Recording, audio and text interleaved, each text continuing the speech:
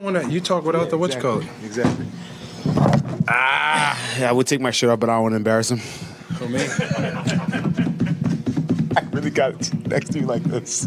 you do have to deal with this. Hey, you can. Man, yeah, yeah. First of all, first of all, Hold on, all, I ain't gonna lie. You could at least wax this right here. Is there? All right, come on. What you got, man? Come on. Oh, yeah, listen, I all the question going to you anyway. Kyle. So, yeah. All right.